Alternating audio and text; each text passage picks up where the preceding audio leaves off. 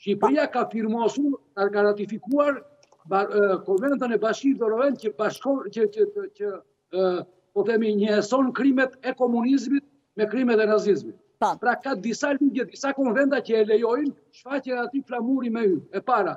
Thashë, jo se do merrje, po, po të sugjeroja, mund të merrje për shembull vendimin e firmosur nga baba i Edi Ramës që u pushkatua një poet në, në Kukës. Mund të merrje teserën e partisë Sali Berishës dhe ta vije atje. Po tani nuk, kjo, kjo nuk është mua. Po ta vjen atje. Ky është priorizimi i shfaqur në artin tim. Po. Apo as kushtet.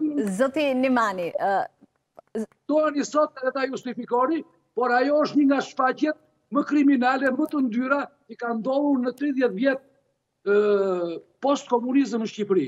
Të bësh ti me metra të tëra në majë të një kodre, të helmosh rininë tonë e cila jo për fajin tuaj, por për fajin e të tjerëve të shtetit shqiptar, nuk di gjithë se ç'ka qenë komunizmi Të nxjerrësh atje një simbol të komunizmit, kjo është e papranueshme për ne dhe për mijëra viktima dhe për fëmijët që kanë vuajtur. Kam idenë se unë kam folur edhe me, me miq të mi gazetarë të Kosovës, kam idenë që nuk e perceptojmë njësoj atë çfarë ka ndodhur me Enver Hoxhën e komunizmin në Shqipëri, dhe me ju. Kemi një diferencë Zoti... perceptimi.